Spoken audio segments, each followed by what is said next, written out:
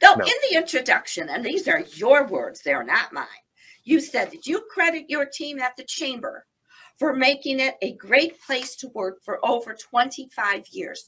So, what do you and your leaders do to make it the best place to work at for over 25 years, Mr. Well, number one, uh, the reason I credit my team is um, I'm a, a, natural introvert. I'm an introvert extrovert, but my natural mm-hmm. state is introvert. And so uh, if it was left up to me, I could hang out in my office and just pound away on the computer all day and just answer everybody over email.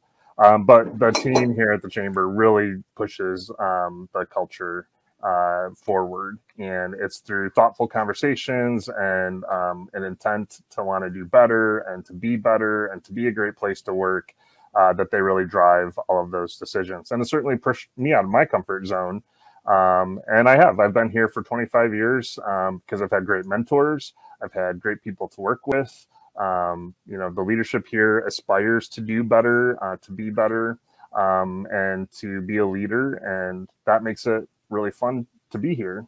Um, and then outside of that, um, what we've done uh, really through COVID is through intentional conversations, trying to find ways that we can empower each other, how we can create more autonomy, uh, more responsibility, um, and people really thrive in that when you give them things that they can be in charge of and that they um, excel at and really finding what people hmm. uh, what their passion points are at work and then giving them the freedom to be themselves both here and at home um, and so we've just created uh, really an outstanding culture here now where we're more productive than we've ever been with more flexibility and more um, authenticity i guess uh, for everybody to who they are those are my favorite words.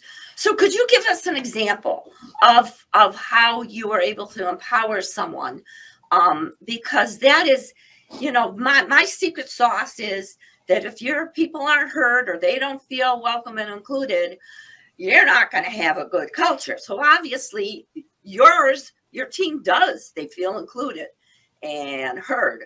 So can you give us a specific, you know, idea that that comes to mind? An example, let's say. Sure. So, I mean, first was you have to serve the organization. So we um, worked through a process called the Entrepreneurial Operating System (EOS), um, and it was started here in Michigan, out of the Detroit area, which uh, I'm really proud about. It's now a worldwide phenomenon. But one of the tenets there is to create an accountability chart and the accountability chart assigns roles and responsibilities for what processes need to get done within the organization. It's not your org chart. It's not whom reports to whom. It's um, what needs to get done and in what order and how. And um, once we figured those things out, then you know you talk to your staff and you tell them this is what the job is, this is what the role is, this is what you're responsible for, accountable to. Mm-hmm. Um, do you get it? Do you want it? And do you have capacity to do it? Um, and if you say no to any of those things, that's fine. It's not an indictment against you about uh, whether or not you're a good person. It just means that you don't fit that particular seat.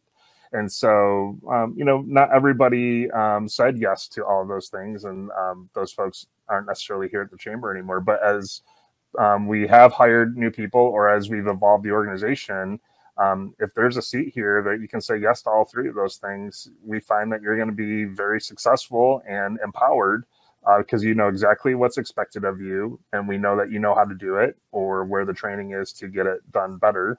Um, and so I think that's one example of where uh, once you know what's expected of you, it's very clear and you're accountable to it. You're going to do a great job at it because you care.